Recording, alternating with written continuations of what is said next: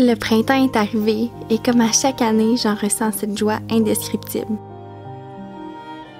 J'adore l'hiver, mais le printemps est vraiment signe que l'hiver a finalement laissé sa place pour une autre saison.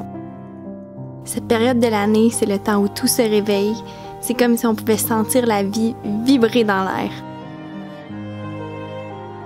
C'est tellement merveilleux d'entendre à nouveau le chant des oiseaux, le bruit de l'eau, de sentir l'odeur de la terre qui dégèle, le printemps a définitivement son odeur bien à elle et c'est une des odeurs les plus merveilleuses que je connaisse. C'est doux, c'est frais, c'est vivifiant, c'est absolument merveilleux.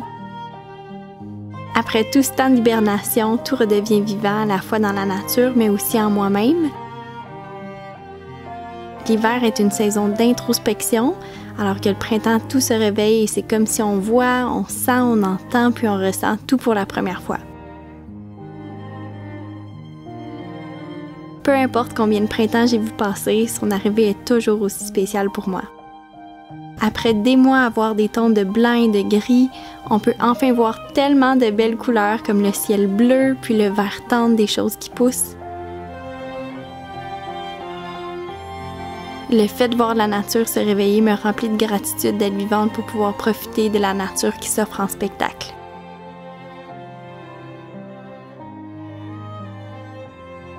Bien entendu, le printemps est également le moment le plus boueux et le plus sale de l'année. Malgré les belles journées de soleil, il y a aussi des jours de pluie puis la fonte des neiges qui rend tout extrêmement sale. Si vous avez un chien ou un animal qui va à l'extérieur, vous savez à quel point à chaque jour c'est à recommencer puis à quel point tout devient sale vite et partout. Léna, tu es sale. Il faut te donner un bain, t'es trop sale.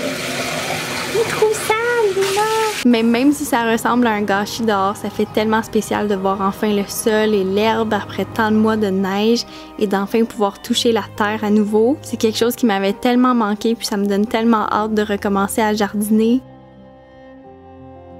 Avec tout le temps qu'on a sous la main, on se considère vraiment chanceux de vivre à la campagne, puis d'avoir un grand terrain pour s'occuper puis pour se changer les idées. On en profite donc pour ramasser les branches, puis les cocottes qui sont tombées au sol pendant l'automne puis l'hiver. Puis on racle les feuilles qu'on n'a pas eu le temps de racler à l'automne passé parce que la neige est arrivée trop tôt, ou plutôt on s'est pas pris assez tôt.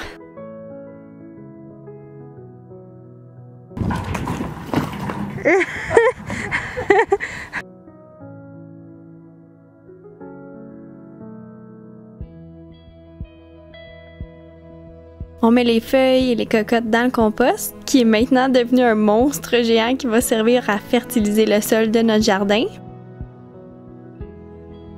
Tandis que les branches, on les brûle à l'extérieur, puis on en profite pour s'asseoir autour au soleil en jasant, puis c'est vraiment plaisant.